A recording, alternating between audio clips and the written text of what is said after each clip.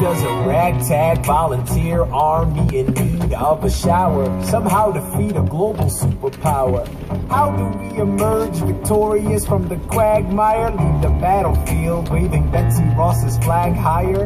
Yo, turns out we have a secret weapon, an immigrant. You know when love was unafraid to step in. He's constantly confusing, confounding the British.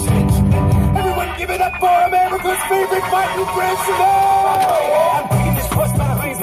Red with blood stains. And I'm never gonna stop until I make a drop burn them up instead of remain down.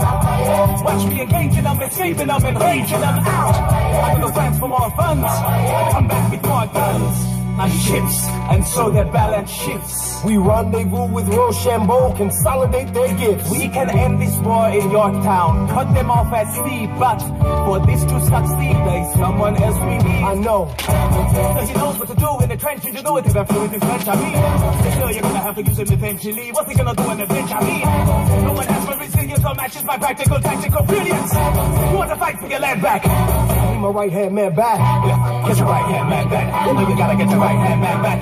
You gotta put the bottom to the letter, but the center the better to your right hand man back. Alexander Hamilton.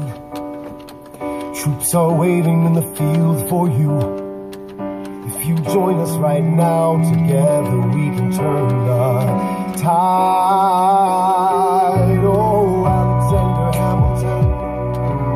I have soldiers that field for you.